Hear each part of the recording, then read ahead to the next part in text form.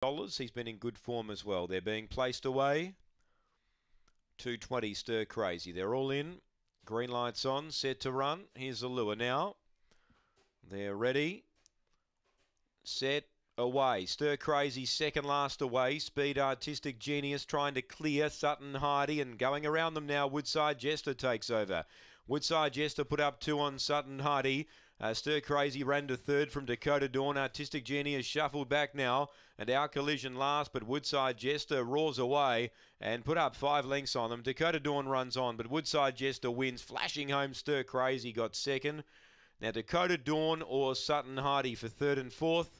Then Artistic Genius and our collision was last in. 22.80 the run.